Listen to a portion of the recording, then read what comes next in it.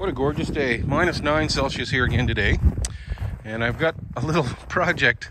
Not sure how well this is going to work out. We're watching our, the sun. I'm going to shine you right up into the sun. Behind that, um, those ash trees there.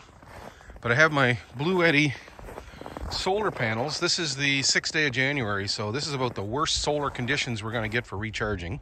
This is a 400 watt, I think, system that Bluetti had sent me, and I've got it plugged into my panel. Now the battery, I've been using it for a couple of days. It was down to 29%, and as we will see, I was putting in, just plugged it in five minutes ago, and we're still at 29%, but we're we're inputting. if you can see how much we're inputting. Hard to focus on that. 179, 100 and, yeah, 170, let's say, watts. These are 400 watt panels that Bluetti sent me and my battery pack is down to 29%. It's January 6th. The sun is a terrible angle, low in the sky for time as it is 11:40 in the morning. So we're going to watch that sun go around the edge of the trees and we're going to actually see if that little bit of sun that we get is going to make any headway in charging this battery up with these solar panels today. So let's just set it and forget it and I'll come back after a bit. I got some errands and chores to do. I keep everything for this Bluetti in this ammo box, all the cables and connectors. Bluetti bits I've written right on top of it so that uh, it just stays with the with the generator. I use this generator for everything, and it's uh, it's a their AC 200. It's just a great all-around little generator. It would be very comparable to a gas-powered 2,000 watt generator for the output. I can run a pancake, air compressor, chop saw, all at the same time, charge my Ryobi batteries up. Anyway, let's come back to this in a few hours and see if it actually made any difference. I'll come down and adjust these panels too.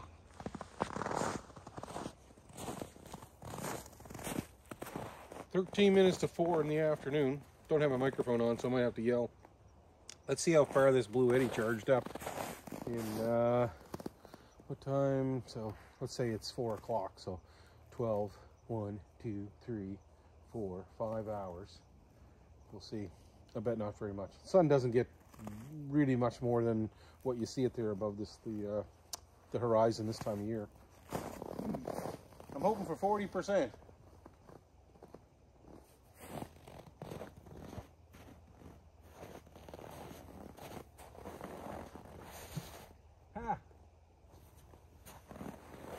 Forty percent, exactly. That's pretty good. So there's no sun right now, or very little. You can see it's just a haze on the horizon. The panels are still set up.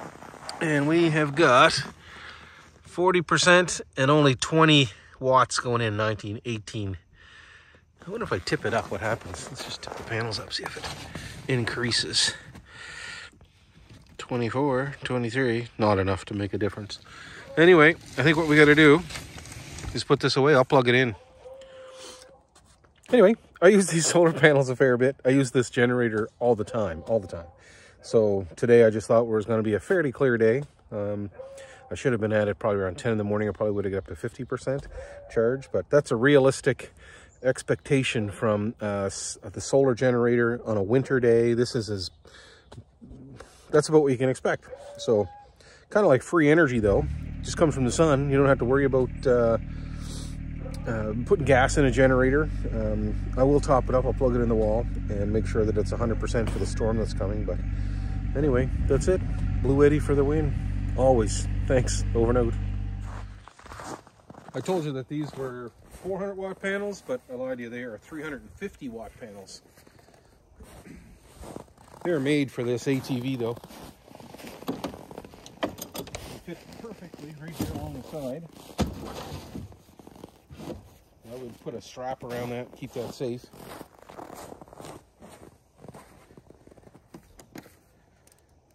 The generator comes with all the cables you need to connect it to 12 volts, to connect it to 110, to connect it to uh, another solar panel. Ice on it. Still cold here today. I'm happy with that. 40%. What do you think? You think that I should have in about five hours charged more than 11% of that, but you know, in all honesty, with hardly any sun today, If this was summertime, it would still be charging probably the full wattage. So there, I plugged it in the wall, and now we're charging at just about 400 watts, so that won't take very long. Nice.